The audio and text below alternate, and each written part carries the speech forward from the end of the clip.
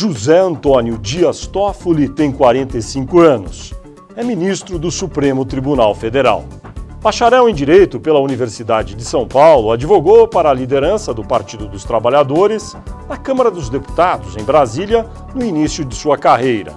Também foi advogado eleitoral do PT nas campanhas presidenciais de Luiz Inácio Lula da Silva em 1998, 2002 e 2006. Em 2001, foi nomeado por Marta Suplicy chefe de gabinete da Secretaria de Implementação de Subprefeituras da cidade de São Paulo.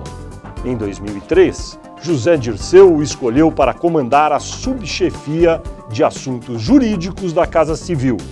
Em 2007, Lula o nomeou advogado-geral da União. Dois anos depois, em 2009, o ex-presidente Luiz Inácio Lula da Silva nomeou Dias Toffoli para o Supremo Tribunal Federal. Olá, internauta, bem-vindo a mais um Poder e Política Entrevista. Este programa é uma realização do jornal Folha de São Paulo e do portal UOL. A gravação é sempre realizada aqui no estúdio do Grupo Folha, em Brasília. Participa hoje também da entrevista o repórter da Folha de São Paulo, Felipe Seligman, e o entrevistado desta edição do Poder e Política é o ministro do Supremo Tribunal Federal, José Antônio Dias Toffoli. Ministro, muito obrigado por sua presença aqui no estúdio do Grupo Folha em Brasília. Começo perguntando: o senhor já faz parte do TSE, Tribunal Superior Eleitoral, vai presidir a eleição no ano que vem como presidente do TSE? E no momento, o Congresso discute uma mini reforma eleitoral que pretende oficializar ações na época da pré-campanha. É bom ou ruim? Olha, em primeiro lugar, essa mudança legislativa, se houver, tem que ocorrer até 4 de outubro de 2013, ou seja, até um ano antes das eleições, para ser aplicada em razão do artigo 16 da Constituição Federal. A questão relativa à pré-campanha, eu há muito tempo defendo que haja uma regulamentação desta situação, porque hoje, sem um parâmetro legal, fica a critério do julgador dizer o que foi pré-campanha ou não. E não havendo parâmetros objetivos colocados pela lei, acaba sendo uma decisão muito subjetiva. Uma interpretação já tem um peso, uma carga decisória daquilo que é a visão do juiz, daquilo que é a realidade que vai ser aplicada àquela análise jurídica. Quando há parâmetros, sem haver parâmetros, a subjetividade acaba sendo maior ainda. Ou seja, para ser pré-campanha é necessário que se peça votos, é necessário que basta uma reunião num sindicato para ser uma pré-campanha, uma reunião num centro empresarial é uma pré-campanha. Tipo Ora, de... todos, todos esses pré-candidatos hoje fazem isso. Isso é campanha ou não é campanha? Era bom que a lei dissesse. Que tipo de atividade o senhor acha que seria aceitável na pré-campanha? Por exemplo, já se julgou e na Justiça Eleitoral que a ida de um pré-candidato a um sindicato debater o futuro do país era uma pré-campanha.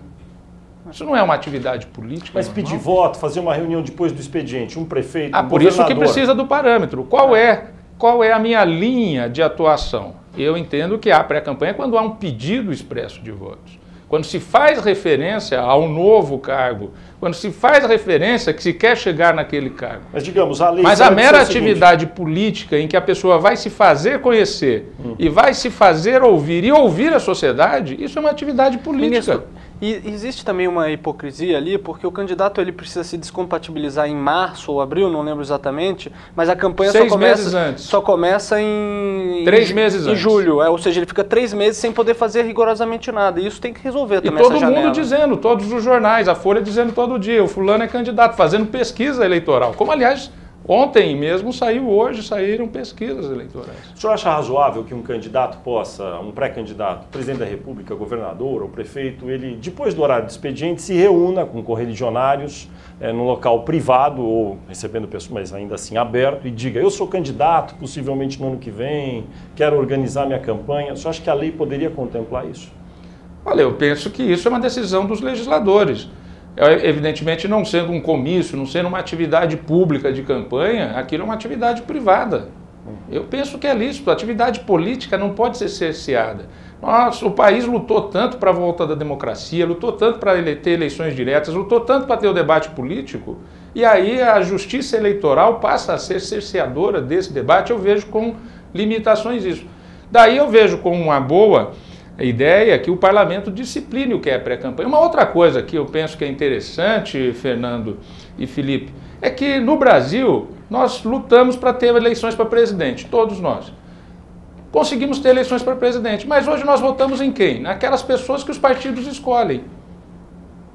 Nós temos três, quatro opções para escolher. Um debate prévio, prévias, é, algum tipo de introdução de um sistema em que o povo participasse dessa escolha, que não ficasse na mão de meia dúzia de líderes partidários.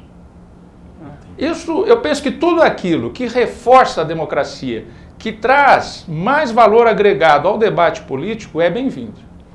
Ministro, no ano passado, ao menos 33 cidades, é, candidatos que corriam risco de serem barrados pela lei da ficha limpa, perto do, da, da eleição, eles abriram mão da vaga e colocaram parentes no local. Recentemente, o TSE entendeu que essa manobra é legal. Sem mudar a lei, como resolver esse tipo de questão? Eu, inclusive, nesse caso específico, quando votei, eu fiz menção aqui nas próximas eleições, independente de mudar a lei, eu vou começar a votar contrariamente. É que havia uma jurisprudência, havia, então, este cidadão, quando ele renunciou e o filho assumiu, ali havia um, um, uma, uma situação jurídica consolidada de uma jurisprudência. Eu penso que isso, e disse isso, tem que ser a última eleição. Tive a oportunidade de ir a uma comissão, esta que o Fernando se referiu, que está preparando uma mini reforma eleitoral para as próximas eleições na Câmara dos Deputados, coordenada pelo deputado Vacareza, que eu tive a oportunidade de exatamente dizer isso a eles. Inclusive eu é, fiz ainda uma proposta mais radical que o partido que lance candidato que depois seja é, declarado inelegível não possa substituir esse candidato. Aí vários parlamentares lá não, vamos colocar um prazo, pelo menos 60 dias, que já é para deputados, para vereadores, deputados, para a, o parlamento, portanto, o limite para a troca e substituições são 60 dias. Parece uma, um prazo razoável. Para. Em 2006, o Supremo Tribunal Federal derrubou a chamada cláusula de barreira. Deveria talvez até chamar cláusula de desempenho, porque não barra, na verdade, só impede que tenha certos privilégios o partido que não chega até uma votação mínima no país. Por conta disso, imagina-se que agora essa cláusula só pode ser introduzida por meio de emenda constitucional. Só que o tribunal mudou. O Supremo hoje tem outros ministros diferentes daqueles de 2006. Você acha que uma nova lei hoje poderia ser considerada constitucional para criar uma cláusula de desempenho? Eu penso que sim. Eu penso que é, aquela cláusula estabelecida no, no, na Lei 9.096, na Lei dos Partidos Políticos, ela era bem-vinda. E vejam que ela dava um prazo de duas legislaturas, oito anos, para que tivessem as forças políticas, após a redemocratização do Brasil, a possibilidade de se apresentar durante duas eleições seguidas, além daquela que já tinha ocorrido anteriormente, em 94, em 90 e 94. Depois, a, de 90, a lei é de, é de 1997, aí, aí depois a lei, a, a, as eleições de 98 e depois ainda as eleições de 2002. Ou seja, foram várias legislaturas que a lei previu, portanto, pegando as anteriores, para que houvesse a consolidação das forças políticas pós-redemocratização. Mas o Supremo infelizmente, derrubou. infelizmente, eu digo isso com tranquilidade, se lá estivesse eu votaria diferente. Eu votaria no sentido de manter a cláusula de barreira. Você acha que é possível, por meio de lei, fazer essa alteração? Olha, uma outra lei pode trazer parâmetros e essa rediscussão se abre. Mas pode ser uma lei ordinária, no caso. Veja bem, que sob a mesma, a mesma emenda 13, a emenda 14 e a emenda 15, nos Estados Unidos houve, houve a segregação racial e depois houve a ampla, a ampla igualdade. Uhum. Então, sob o mesmo texto constitucional, com o passar do tempo, pode-se ter outras interpretações. Então, se o Congresso tomar a iniciativa de fazer o mandado de injunção, lei... o Supremo não aceitava o mandado de injunção logo após a Constituição de 88 e depois, com a mudança de composição, passou a aceitar. Então eu penso que se o Congresso fizer uma nova lei, eh, que seja uma lei razoável, que sejam cláusulas razoáveis, é importante levar os parâmetros que levaram o Supremo a declarar aquela inconstitucionalidade, inconstitucionalidade em relação a isso e verificar que tipo de cláusula de barreira pode se criar. Porque realmente conviver com 30 partidos atualmente, e muitos deles, nós sabemos, uh, não tem força social, não tem força, não tem base social para sua existência, são comandados por meia dúzia de pessoas para ter acesso a fundo partidário, para ter acesso a rádio e televisão, eu penso que uma cláusula de barreira bem pensada pode, num futuro questionamento no Supremo, vir a ser aceita. Na semana passada. Até porque a história ensina. Uhum. Então, só para recapitular, mudou a composição do Supremo, é possível, talvez, que se uma nova lei for apresentada para uma cláusula de barreira ou desempenho, como se diz, talvez ela possa ser Sim. considerada. Eu nem sei se esse debate está posto no Congresso nessa forma de cláusula de barreira. O que estamos a julgar agora, quarta-feira, será a continuidade de um julgamento daquela questão referente à divisão de tempo de televisão e de fundo partidário, ou seja, os novos partidos. O senhor já tem posição sobre isso? Aliás? Não, ainda não. Estou é, refletindo sobre isso e penso que o despacho liminar do ministro Gilmar Mendes traz considerações importantíssimas para o Estado Democrático de Direito, ou seja, as maiorias conjunturais não podem, essa é a percepção dele, ficar alterando as regras do jogo a qualquer tempo, a qualquer momento, dependendo das conveniências de momento. Mas a mandato... interrupção e a interrupção do, do, do, da tramitação desse projeto de lei no Congresso? É, Acho que foi esta, apropriado? Esta é a questão que eu estou a, a refletir. É, esse limite de atuação do Supremo em relação ainda a uma propositura e não uma lei já editada. Eu já tive ocasião de defender em, em algumas é, entrevistas, mais na área especializada, na área jurídica especializada, porque são questões muito técnicas, mas já defendi que o Brasil deveria introduzir algum sistema de controle prévio na área tributária, por exemplo. São inúmeros os problemas de insegurança do empreendedorismo no Brasil, porque não se sabe se o imposto editado ele é constitucional ou não é constitucional.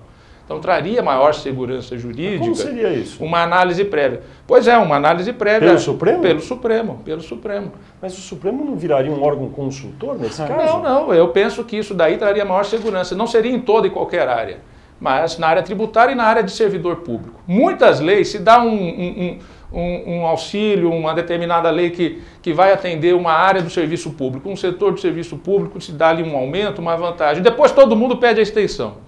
Aí, três governos depois, dez anos depois, aquilo se estende e vira o chamado esqueleto no armário. Ou seja, uma dívida é, enorme para se pagar a setores da sociedade, em detrimento de outros, porque o dinheiro, o cobertor sempre é curto, não cabe todo mundo. Ora, a segurança jurídica muitas vezes impõe, nós temos hoje inúmeros, a maior parte dos casos importantes de repercussão geral que estão no Supremo são da área tributária. O Felipe, que é setorista e cobre lá, e sabe, sabe a dificuldade que isso. Estamos a julgar, julgamos agora casos que começaram o julgamento há mais de 10 anos, com voto vista. Isso não é racional, Fernando. Isso não tem. Aí aquele, aquele investidor, isso depois afeta a Bolsa de Valores, porque ao longo de 10 anos, conforme a decisão, e houve casos realmente que depois tem impacto o na senhor... Bolsa de Valores, ou seja, tem impacto na economia do país inteiro. O senhor avalia que esse tipo de argumento, que muitas vezes os casos são bilionários, deve ser levado em conta pelo ministro do Supremo, pelo juiz, na hora de analisar um caso como esse? Olha, o, o, tem que se levar em conta a realidade, mas o que se impõe a um juiz, a um julgador, é o que diz a Constituição e a lei. Se o Estado, ele deliberadamente foi arbitrário e impôs ao cidadão um imposto que não devia tê-lo feito, ele deve pagar com o ônus e com o custo dessa intervenção indevida.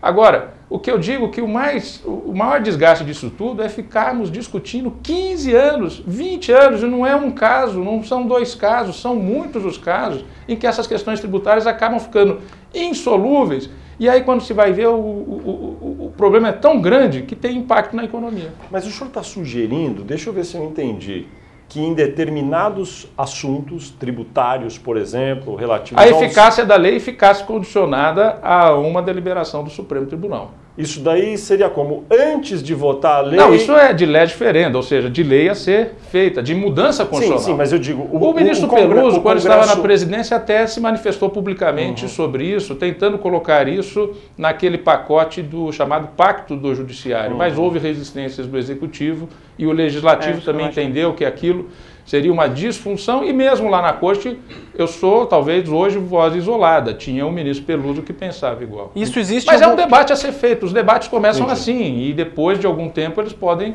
se transformar em uma, um consenso. Em, em, alguns países isso existe, mas se o senhor acha que é viável que o Congresso aprove uma coisa dessa, a gente vê gente, eles reclamando muito pelo contrário, do ativismo do Supremo. Agora, não, não, ninguém tiraria uma... poderes do, do, do, Congresso nem do Executivo. O Congresso elaboraria a lei tributária, o Executivo sancionaria essa lei tributária e a sua eficácia dependeria de um enforcement, ou seja, de uma determinação da Suprema Corte. Seria uma espécie de poder de veto do E Supremo? aí essa lei ficaria não passível mais de discussão. Entendi. Então ela só entraria de fato em vigor, só entraria de fato em vigor depois de passar por um terceiro estágio que seria a análise Exato. do temos, Supremo. Temos situações, Fernando, nós temos um, um, um Estado federal. Nós vivemos, são 26 estados e um Distrito Federal. E nós temos determinados setores da economia, vamos pegar o setor agropecuário, que está espalhado pelo Brasil inteiro. E hoje é um setor que está extremamente é, empresarial. Hoje a nossa agropecuária ela é empresarial, ela não é mais amadora como foi até algum tempo atrás. Você tem no Brasil cinco tribunais regionais federais. Agora aí um, haverá mais. Né? Aí um imposto aumentará. Uhum.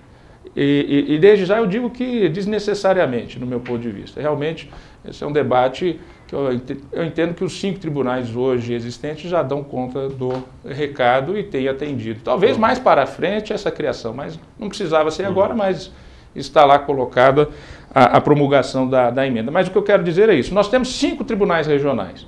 Então, uma decisão tributária, que um, uma posição jurisprudencial, melhor dizendo, sobre matéria tributária, que o Tribunal do Rio Grande do Sul seja favorável ao contribuinte, mas o Tribunal de São Paulo não, o que, que cria isso? Até o Supremo decidir isso depois de 5, 10 anos, por um, por um largo passo de tempo, os empreendedores no Rio Grande do Sul terão vantagem de mercado sobre os de São Paulo, ou vice-versa. Entendeu? Porque o mercado não tem jeito, o preço final do produto é concorrência. Então nós temos uma situação em que essa discussão tributária influi na economia real e influi na livre concorrência. Então precisamos trazer racionalidade ao tema. Ministro, na semana passada, o Supremo Tribunal Federal decidiu, o senhor nem estava presente, arquivar um caso referente a um calouro, é, um estudante de medicina da USP que morreu logo no início, no trote, quando iria ingressar na universidade. Nesse julgamento, voto vencido, o presidente da corte, Joaquim Barbosa, é, para falar de maneira bem clara, passou um sabão nos colegas ali ao final ao proclamar o resultado. Eu gostaria de mostrar 30 segundos do discurso do ministro Joaquim aqui agora para que a gente pudesse analisá-lo. É, não é a primeira vez que, nesses meus 10 anos do Supremo Tribunal Federal, eu presencio situação como a que nós estamos é, vivendo hoje aqui. O tribunal se debruçar sobre teorias, sobre hipóteses e esquecer aquilo que é essencial, a vítima. A vítima. Não se fala da vítima, não se fala da sua família. Eu quero dizer simplesmente que o Supremo Tribunal Federal está impedindo, impedindo que essa triste história seja esclarecida. É só isso. Bom, o que, o senhor acha dessa manifestação do ministro Joaquim Barbosa? Bom, quando você disse que ele passou um sabão, eu achei que vinha alguma coisa eh, mais forte. Eu entendi. Isso está dentro do razoável. Antigamente, no Supremo Tribunal Federal, quando não havia TV Justiça, as discussões eram mais acaloradas, eram bem mais incisivas. Com a TV Justiça, aliás, diminuiu. Eu sempre digo, Fernando, que eu sou a favor desses debates, embora eu tenha um outro estilo. Eu tenho um estilo mais conciliador, tenho um estilo é, é, de falar menos no que diz respeito aos debates. E, e, de vez em quando acabamos nos envolvendo mais com o tema e o assunto. Eu entendo que ele não passou um sebom. Ele expressou uma ótica que uma grande parte da sociedade brasileira tem, é que em matéria de criminalidade e de violência se faz mais a defesa dos acusados do que o olhar sobre a vítima dos crimes e dos delitos.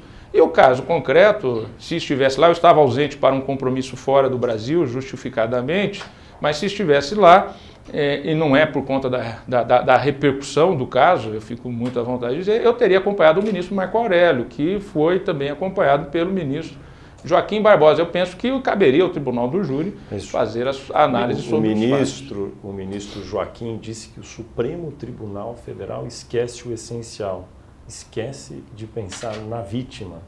Isso não eu acabei de dizer forte. aqui, eu acabei de dizer aqui que na minha ótica o Supremo errou lá atrás na cláusula de barreira.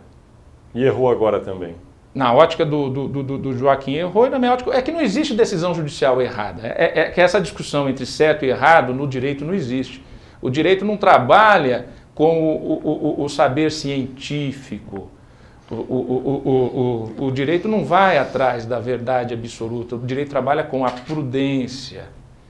E a prudência ela tem uma outra metodologia de trabalho, ou seja, qual é qual é a forma de decidir que para em pé.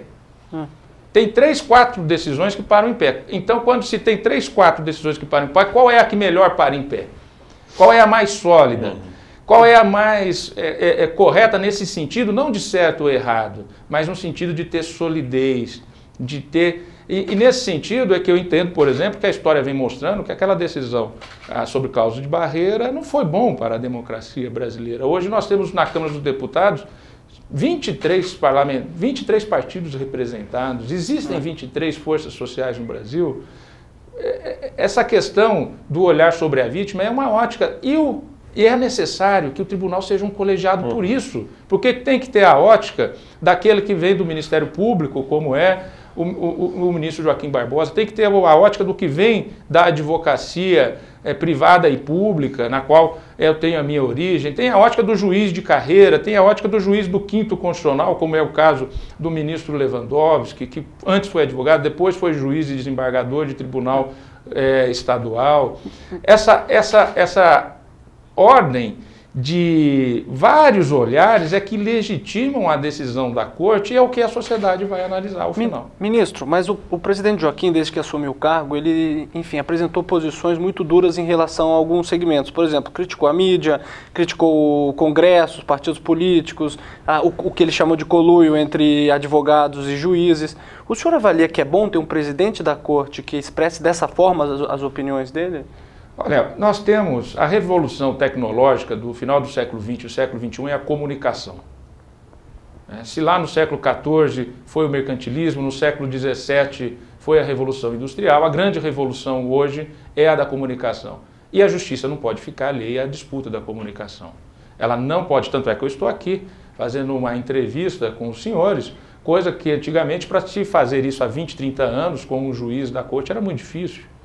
A corte tem que ir às ruas e expressar as suas opiniões.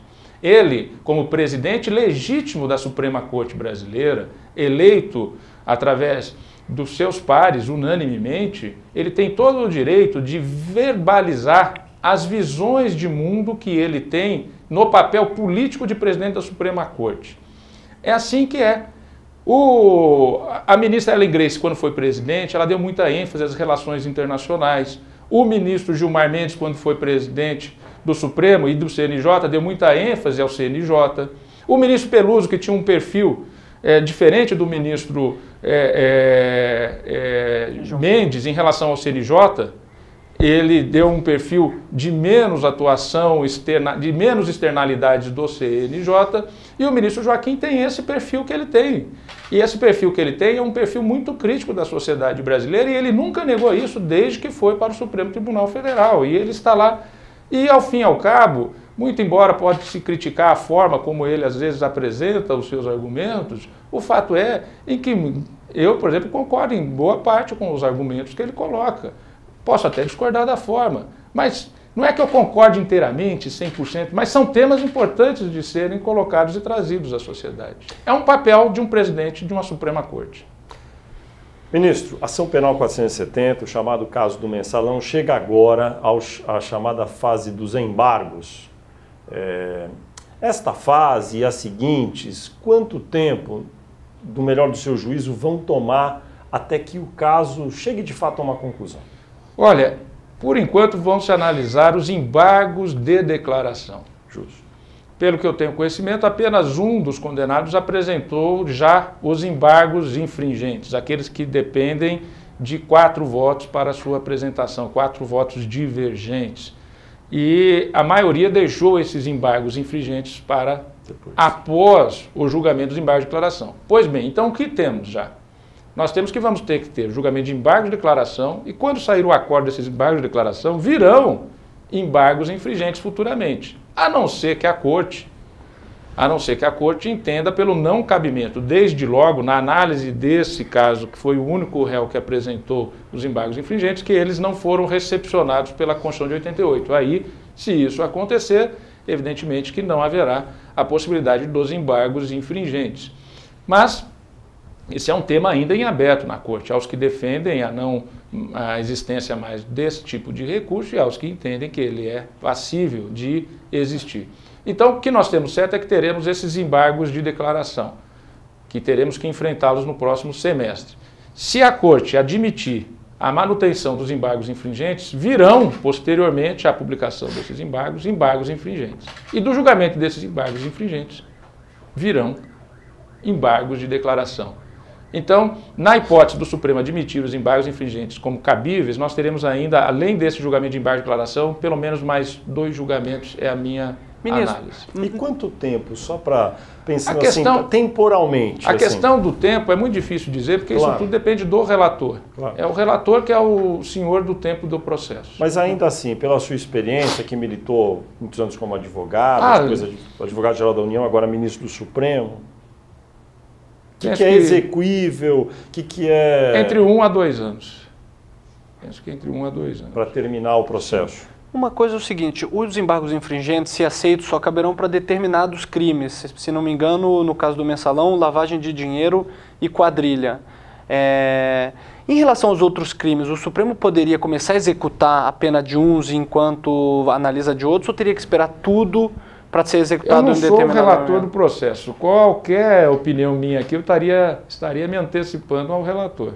Uma outra questão é o seguinte, em relação aos próprios infringentes, o ministro Celso de Mello já adiantou no julgamento que acha que considera válidos. Já o presidente relator Joaquim Barbosa é, contrário. é, o contrário. O senhor já teve posição formada sobre o tema e já poderia não, expor não, agora? Ainda não. Ainda estou com isso aberto para decisão. E só... Até porque temos muitos processos, então cada dia é sua agonia. Só que lá não é uma agonia por dia, são dezenas, centenas de agonia por dia. São 100 processos que chegam ao gabinete todos os dias. Nesse caso da previsão aí da conclusão de fato do caso do mensalão, o senhor fala de um a dois anos.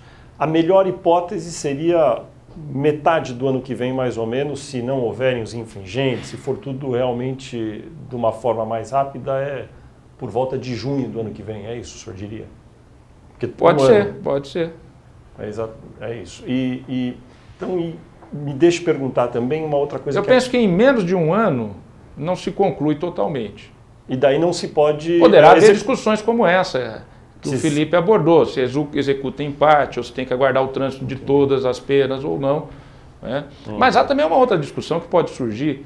Há quem alegue é, por exemplo, num caso que eu, que, eu, que eu sou relator, que foi um voto divergente.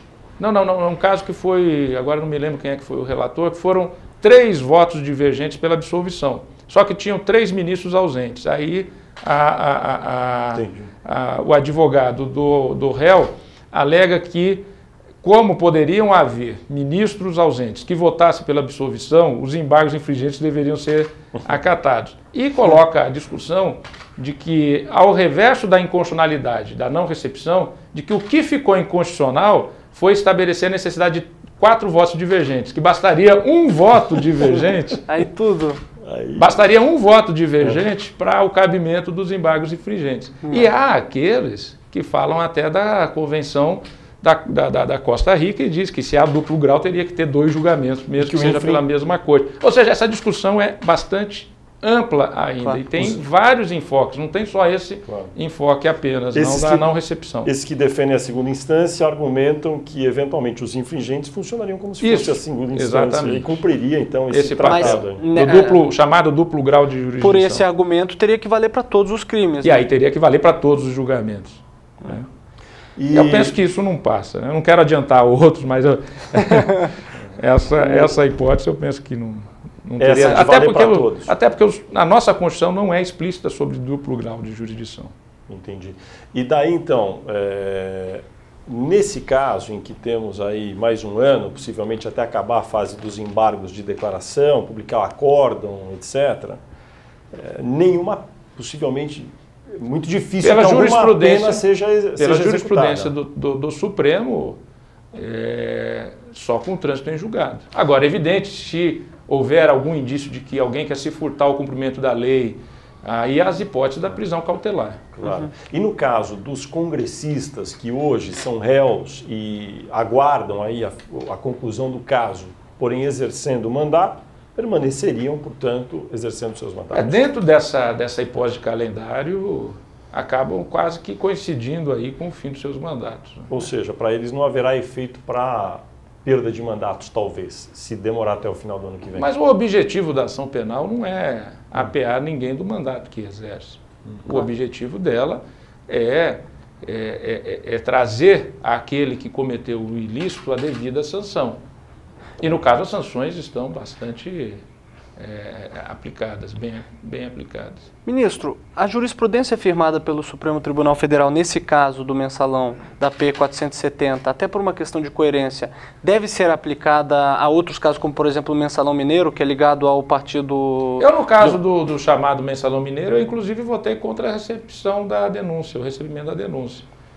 Eu, eu realmente eu não sei como é que estão as provas lá colocadas. O novo colega, eh, o ministro Barroso, que deverá, ao tomar posse, se tornar o relator e aí ele trará o caso a julgamento quando já terminada a instrução. Mas questão de jurisprudência, assim, se o Supremo entender, por Em exemplo, questão matéria do- do. criminal, em matéria criminal é muito difícil formar jurisprudência. Eu inclusive já me manifestei lá, você que acompanha sempre as sessões, que eu sou, por exemplo, sou contrário à súmula vinculante em matéria penal, porque matéria penal tem características muito próprias, É. né, muito específicas.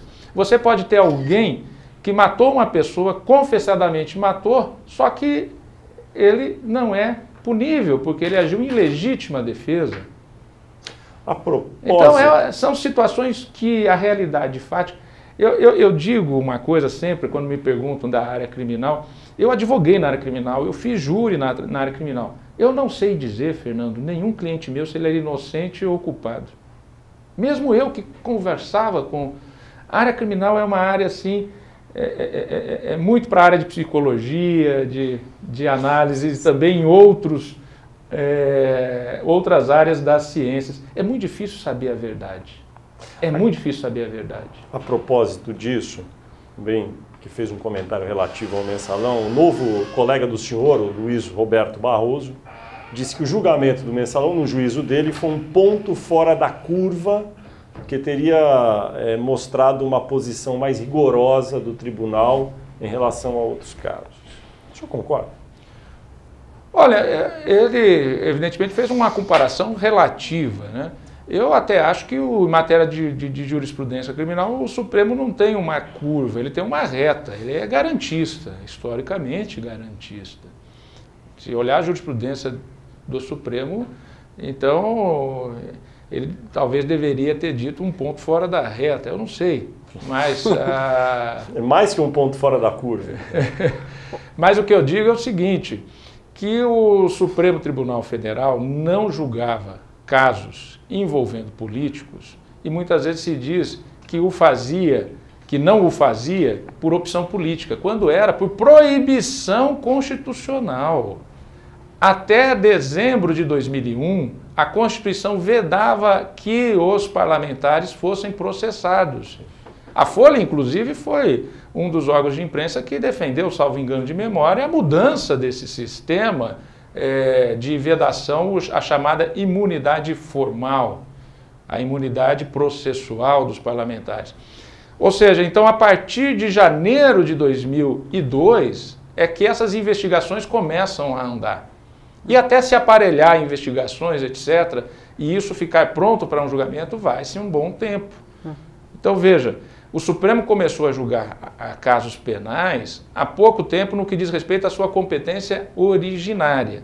E ao agir na competência originária, Você atua como se fosse o verdadeiro juiz de primeiro grau, o juiz da instrução. Só que, estando na última instância do judiciário, é diferente se analisar um recurso, é diferente se analisar um habeas corpus. Então, quando se fala da jurisprudência do Supremo Tribunal Federal, e desculpa por ter me estendido um pouco mais nessa resposta, mas quando se fala da jurisprudência do Supremo Tribunal Federal em matéria penal, nós estamos falando de uma jurisprudência em matéria recursal e de habeas corpus que enfoca muito as questões formais processuais.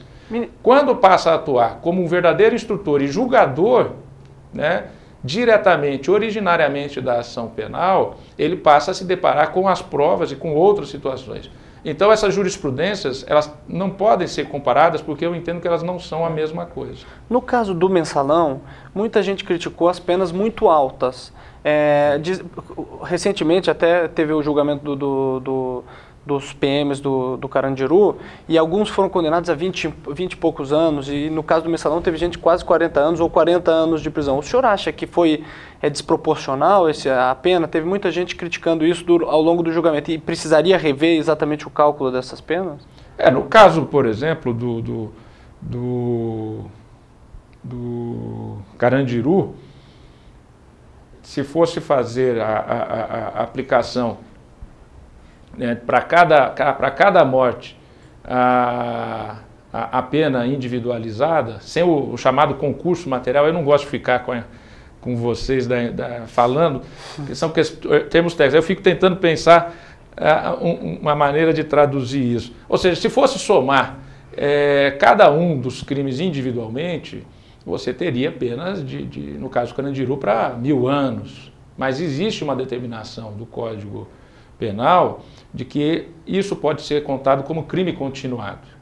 E ao contar como crime continuado, se há um aumento, pega-se a pena de um único crime e se aumenta em um valor proporcional àquele, àquela pena aplicada para aquele único crime. O ministro Marco Aurélio, ele sugeriu, no caso da ação penal 470, que entendesse que tudo aquilo ali era uma coisa só. Estou aqui fazendo uma caricatura, me perdoe o ministro Marco Aurélio, é, da, da, da, situação para uma fácil compreensão. Ele, que tecnicamente, para explicar, fica mais complexo. Então, já me desculpo com ele desde de já. Ele quis entender, e entendeu, e, e, e, propôs à corte que entendesse aquilo tudo como um ato só. E então aplicasse uma pena e um crime continuado, que faria com que as penas baixassem significativamente. Ao se analisar a denúncia, parece ter certa lógica isso que foi colocado pelo ministro é, Marco Aurélio, porque realmente a denúncia coloca aquilo tudo como uma coisa só. A única coisa separada que a denúncia colocou foi o caso da Câmara dos Deputados, que ali ela não envolveu aquilo com a chamada troca de apoio político da base junto ao Congresso Nacional por favores econômicos. Então, aquilo que era a, a contratação das empresas de Marcos Valérios para a Câmara dos Deputados é que estava a parte disso. No resto, ela coloca tudo como se fosse uma coisa só, realmente uma política de angariar votos. É isso que a denúncia mencionou. Então, daí o ministro Marco Aurélio entender de tratar aquilo como uma coisa é, única, uma coisa é, só e aplicar, então, a, a, a, a continuidade delitiva, o que faria com que as penas baixassem. Mas, por outro lado, aí é que entra a dificuldade da Suprema Corte em ser um juiz penal originário, porque nós temos que trabalhar nós temos que trabalhar muito com a dogmática jurídica. E essa dogmática jurídica não é algo que se formou no julgamento A, B ou C, ou que se forma agora. Ela é uma prática da teoria jurídica e, e nós, nós adotamos uma teoria, uma dogmática jurídica na área penal que vem principalmente da doutrina alemã, da teoria jurídica alemã, em que você tem ali exatamente as interpretações já fixadas, as nomenclaturas já dadas. E você fugir de determinadas nomenclaturas fica difícil quando você é uma Suprema Corte, porque você sinaliza hum, para não para aquele julgamento, mas você sinaliza para todos os julgamentos criminais do Brasil a possibilidade de uma aplicação daquele tipo de interpretação, daquele modelo exegético. Aí, o que, que ocorre? É uma série de crimes continuados, por exemplo, que são aceitos em determinados tribunais do Brasil e que o Supremo não aceita, como por exemplo aquela pessoa que rouba hoje, daqui uma semana rouba o carro, daqui outra semana rouba o carro, daqui mais uma semana rouba o carro, alguns tribunais já aplicaram que aquilo é uma continuidade delitiva. O Supremo mesmo não aceita isso na sua jurisprudência. Ele entende que cada roubo daquele, porque as circunstâncias de tempo, as circunstâncias de moda, as circunstâncias de local são diferentes, não se aceita a continuidade delitiva. Desculpa, não, é, é, é um tema muito técnico para. e eu não tenho capacidade para traduzir, como deixa alguns têm. Deixa eu perguntar sobre um tema que sempre volta e meia aparece na mídia a nomeação de ministros para o Supremo, indicação para o Supremo Tribunal Federal. Neste momento, há duas PECs em tramitação no Congresso, tentando modificar a forma como são indicados. O senhor acha que já está na hora de aperfeiçoar a regra pela qual o presidente da República indica os ministros para o Supremo Tribunal Federal? Olha, a, a forma de indicação de ministro para o Supremo pode ser comparado àquilo que o Bob falou sobre a democracia. Pode não ser o melhor sistema, não pode não ser o sistema ideal, mas é o melhor sistema que a humanidade conseguiu construir para se jogar o jogo da Eu acho que não há reparo a política. ser feito. Eu penso que pode ser considerado não o modelo ideal, mas dos modelos que existem é o menos ruim. Mas tem algum reparo que o senhor sugeriria? Talvez aumentar o quórum no Senado. O quórum no Brasil é de maioria absoluta é, talvez aumentar para dois terços, uhum. que aí uhum. teria uma participação maior da minoria e a possibilidade, então, de uma intervenção maior. Eu fico tranquilo porque eu, se fosse dois terços, eu estaria aprovado. Mas a possibilidade, por exemplo, de a presidente demorar até seis meses para indicar, fica uma cadeira vaga, isso aí não há o que fazer. Olha, talvez colocar um prazo, né? talvez poderia ser um, um prazo de 30 dias para indicação, mas eu penso que Olha, demorou, mas foi uma boa indicação, por outro lado. É, o ministro Barroso chega sendo é, bastante festejado e na casa terá uma boa, uma boa aceitação, uma boa recepção. Questão, questão de lista, por exemplo, feita pelo próprio Supremo, seria Só uma... contrário, qualquer coisa que envolva corporativismo, a ideia do presidente indicar e o Senado aprovar é a base de legitimidade política e democrática, a densidade política e democrática que o indicado tem que ter.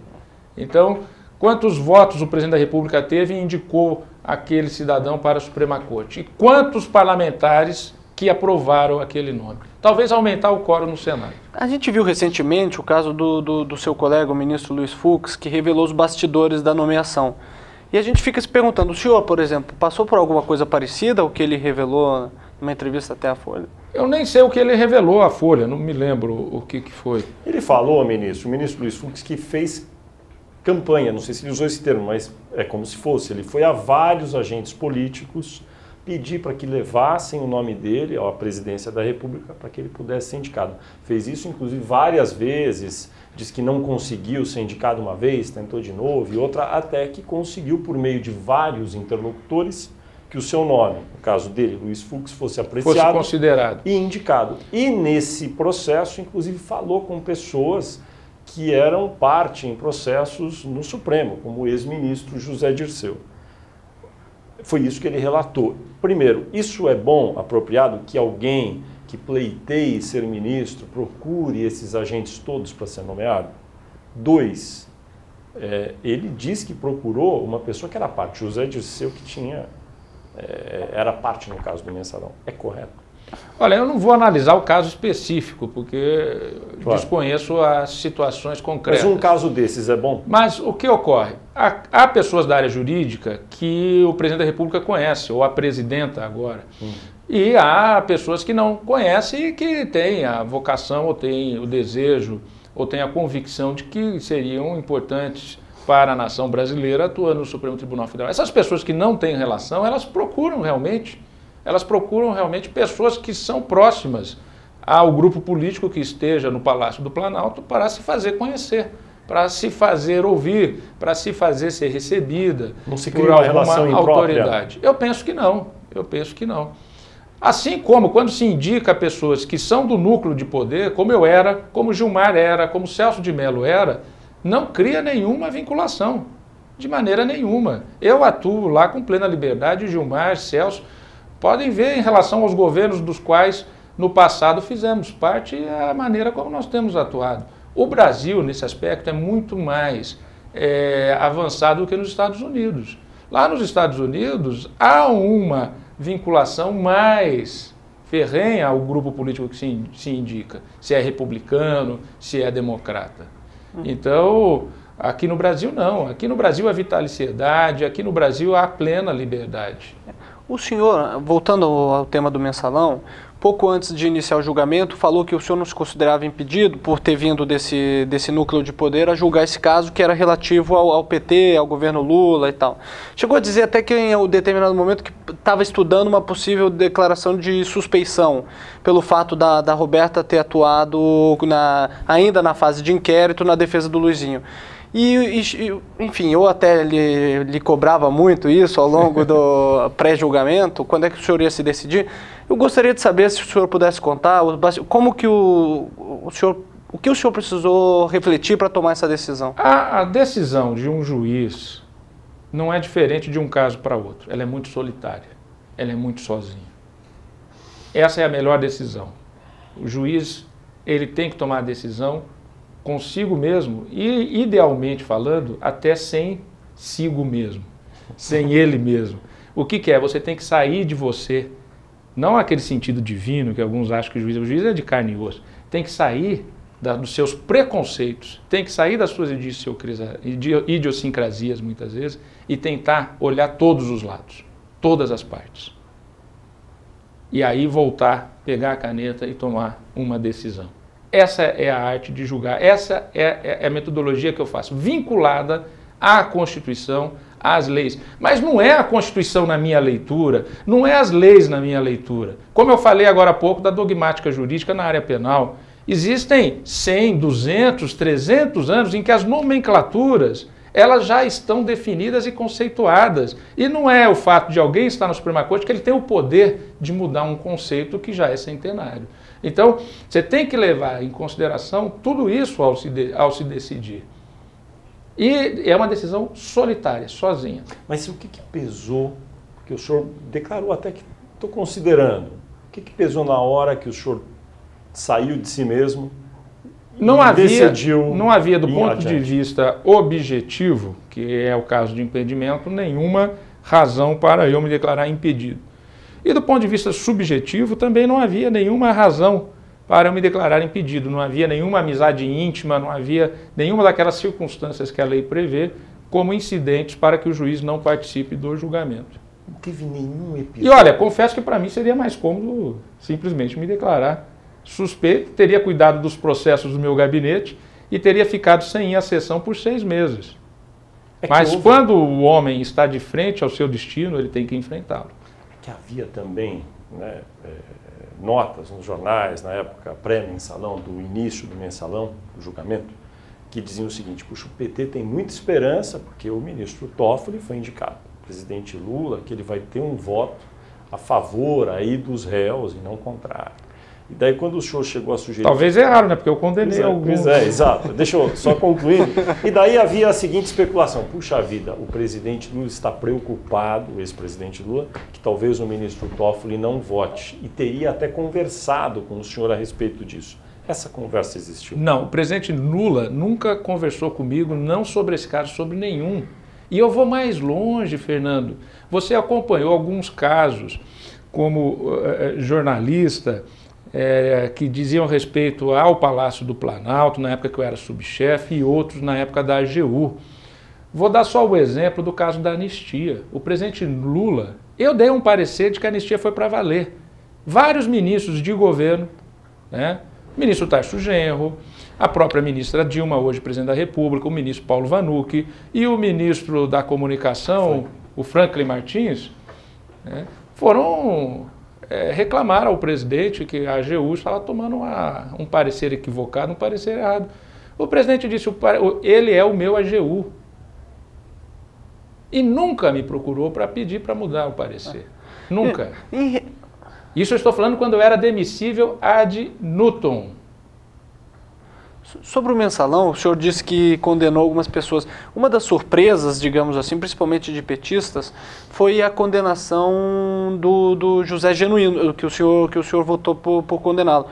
Ele era uma, uma pessoa que ao longo do processo a gente ouvia de petistas dizendo ah, é uma injustiça contra ele, era, existia muita defesa em relação ao nome dele. Foi complicado tomar essa decisão em relação a ele, que é um petista histórico e uma pessoa até querida por, eh, por, esse, por essa, por as pessoas da sua convivência? Assim? tão complicada quanto qualquer outra decisão. Como eu falei, é uma decisão muito sozinha. Conheço o, o deputado José Genuíno, respeito a sua história, respeito o seu passado, teve contribuições admiráveis para a nação brasileira. Mas eu tinha que julgar com aquilo que eu li nos autos e com essa liberdade que o juiz tem que ter. Não por determinados vínculos ou é, relações que teve no passado. É, talvez para mim o mais cômodo seria realmente ter me declarado suspeito, mas eu tinha ali, eu, eu, estava diante do destino. Que juiz que eu queria ser a partir dali? E eu optei por enfrentar, absolver aqueles que eu entendia que não há prova. Não há prova contra José Dirceu, eu digo isso claramente, não há. É, é a minha opinião diante do que eu li do processo. E votei assim, acompanhando o ministro revisor, o ministro Ricardo Lewandowski. Agora, em relação a outros, pelo que eu analisei, e o meu voto está dado, está aí colocado, está público. Né? Felizmente nós vemos um Brasil que os votos são públicos. Pouca gente sabe, Fernando, que quase a totalidade dos outros países, isso né, às vezes não é transmitido ao vivo, etc. Fica se, fica se sabendo depois. Ou se acomoda na, uhum. na, no acompanhamento de um relator. O senhor, o senhor, declarou que, enfim, foi a sua convicção, o senhor votou desse jeito, que não há provas contra José Dirceu. Votou para absolvê-lo como o ministro revisor Ricardo, Fez. Ricardo Lewandowski. Essa convicção do senhor também foi o que norteou quando o senhor estava como advogado-geral da União e houve o convite do Ministério Público Federal para entrar é, em conjunto com a AGU com uma ação de improbidade contra José Dirceu e a AGU preferiu ficar de fora desse caso? Não, não, isso daí é, é, são coisas completamente diferentes. O que ocorre é que eu nunca aceitei, enquanto AGU, que o Ministério Público pautasse a instituição Advocacia Geral da União. São coisas completamente diferentes. Aliás, eu criei na Advocacia Geral da União o Departamento de Defesa da Propriedade e Recuperação de Ativos. E comecei a entrar com ações contra é, políticos. Eu gostaria que um dia a imprensa fizesse um levantamento. Quanto que esse departamento que eu criei como AGU já recuperou de recursos públicos para o Estado e quanto que o Ministério Público em 20 anos recuperou? Faça um comparativo. Ministro, ativismo judiciário, já falamos um pouco aqui, mas eu gostaria de retomar um pouco. O senhor acha que essa reclamação que a gente ouve dos políticos em relação ao judiciário é procedente? Olha, isso seria uma longa conversa é, porque eu, quando gosto de abordar esse assunto, eu gosto de ir lá na proclamação da República, a criação do Supremo Tribunal isso. Federal no Brasil, passando ao longo da história. Então vamos tentar sintetizar. O Supremo hoje, com a Constituição de 88, é, nós passamos a ter um, um, uma Constituição nova com um Supremo antigo. Quando vem a substituição dos ministros e a nova geração, nós passamos a ter um Supremo Tribunal Federal que está adornado, para usar a expressão né, do adornamento, está atualizado com a atual Constituição, está em sintonia com a atual Constituição e passa a aplicá-la e dar efetividade. Ao mesmo tempo, no mundo inteiro, existe um movimento de um maior poder às constituições, uma maior efetividade às constituições. Isso também não é algo que nasceu ao acaso, é algo que vem crescendo desde da, ao longo da história. Isto posto, isto posto, o que, que ocorre? Nós temos uma Constituição e essa Constituição traz poderes ao Supremo Tribunal Federal e o Supremo Tribunal Federal, ao aplicar a Constituição, muitas vezes ele atua com diversas formas. Uma das consequências da sua atuação, da sua forma de atuação, é achar que está se imiscuindo em decisões do parlamento quando na verdade ele não está se imiscuindo nem se substituindo, ele está sendo provocado. Porque o, judiciário é um poder eunuco, ele não tem desejo. É, ele é desejado pelos outros, mas ele não tem desejo. As pessoas provocam o judiciário. Isso que nós vamos julgar sobre a tramitação desse projeto de lei foi provocado por um parlamentar. Agora, um parlamentar. Então, o que, que ocorre? Esse ativismo, esse ativismo, ele, eu não vejo assim como um ativismo. Até porque uma não decisão, uma omissão, como já ocorreu no passado, quando o Supremo aplicava uma Constituição nova com pensamento antigo, uma um, um, num sentido conservador, ou numa época em que a Constituição era a Constituição dos militares e que traziam princípios escritos, mas que não eram para valer, e, e, o Judiciário muitas vezes historicamente não lhe dava o devido, a devida efetividade, o devido enforcement, isso também não é um ativismo? Um ativismo pela omissão? Uhum. Por não assumir as suas responsabilidades, por não agir? Agora, recentemente o, o novo ministro, Luiz Roberto Barroso, afirmou que o Supremo pode ser mais ousado quando a questão trata de minorias. O senhor concorda com isso? Eu a, volto a dizer, é, ju, juiz não tem que ser ousado. O juiz ele não pode ter desejo. Eu tenho uma visão de mundo, evidente, todos nós temos. Agora, se eu quero impor essa visão de mundo do ponto de vista da inovação, eu tenho que deixar a toga, entrar num partido político e disputar o voto popular. O meu, minha atuação não é de desejo, minha atuação é de guarda da Constituição. Então, de acordo com aquilo que está na Constituição, é que eu posso atuar quando provocado, quando há uma ação provocando. Não há, o juiz não pode ter desejo. Então não se trata de promover direitos de minorias ou não promover. Trata-se de cumprir a Constituição e fa ficar falando de defender a minorias. A nossa Constituição defende as minorias ou não defende? Na onde defende? Como defende? E, e, aí, então, uma vez provocado, se analisar essas situações. Mas então o senhor é contra, por exemplo, esse, esses conceitos do neoconstitucionalismo? Sou. Né? Eu já disse isso em voto. É, essa ideia de que o juiz tem que ir atrás de, de, de, fazer a Constituição valer, isso não é papel do juiz. O juiz é guarda, ele não é.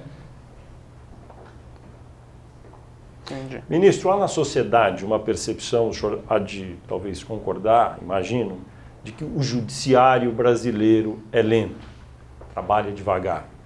E por vários aspectos. Essa também seria uma discussão muito longa. Falei aqui da questão tributária. Pois é. Agora, um aspecto que é muito fácil para qualquer brasileiro entender é que juízes têm oficialmente mais dias de férias do que têm os outros trabalhadores. Eu sei que alguns juízes, magistrados, como o senhor do Supremo, que já estiveram aqui, falam: olha, mas eu trabalho nas férias, eu nem tenho férias, nem tiro. Mas isso é uma outra questão. O fato é que oficialmente. Essa está fácil tem. de responder. Oficialmente tem. Não era o caso. Essa está fácil de responder, sabe por quê? Não, eu fui, fui, perguntado na sabatina sobre isso. Eu falei: por que, que Vossas Excelências não ampliam o direito de férias de dois meses para todos os trabalhadores brasileiros? Como deveriam fazer em relação às empregadas domésticas que têm discriminação. E hoje, isso eu disse na sabatina, que a legislação assim? brasileira discriminava as empregadas domésticas e veio uma emenda constitucional para dar igual tratamento. Mas o senhor acha que no caso dos magistrados, dos Ou seja, juízes... não vamos cortar para baixo, vamos ampliar os direitos. O senhor acha que todo... Como assim? Mas...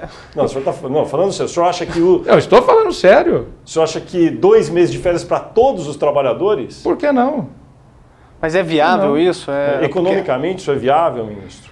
É. Porque o, deba o debate, eu, eu não coloco o debate no sentido de cortar direitos, mas de ampliar direitos.